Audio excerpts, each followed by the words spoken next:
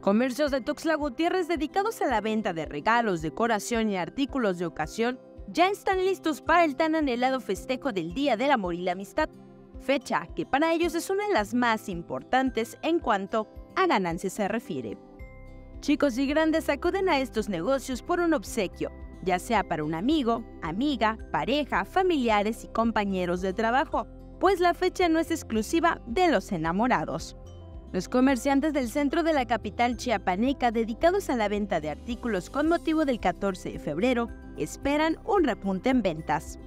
Tenemos que ser muy positivos, es una fecha muy bonita, muy importante para, la, para el mundo del regalo, este, de las tiendas de decoraciones, este, envolturas y tiendas de, este, físicas de, del regalo, es una de las fechas más importantes.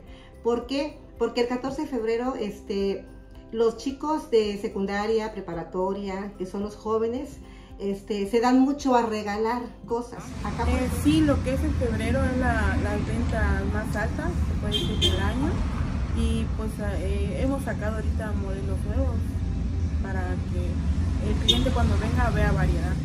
Pese a que los comerciantes también han tenido un incremento considerable en insumos, han optado por no subir los costos, creando opciones más económicas insumos han subido bastante, hasta creo yo considero un 40%, pero debido a que mi tienda está en un rango este, cerca del centro, una dirección muy cerca del centro, pues la gente a veces cotiza y nosotros lo que hacemos es mantener el precio que siempre hemos tenido desde dos años atrás.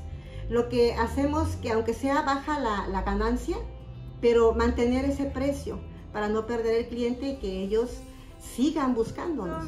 Eh, no, les, no le hemos subido los costos y nos tratamos de hacer unos más eh, económicos a conforme venga el cliente. Lo ofrecemos desde bonos este, económicos de 140, igual peluches, para que el cliente se vaya este, satisfecho. En, decoramos las cajitas, incluimos, le, incluimos globos, papel picado, todo, para que, no, para que el cliente no lo sienta tan sencillo Globos, flores, peluches, ropa, joyería y hasta lencería son algunos de los obsequios más comunes que los tuxlecos regalan en San Valentín.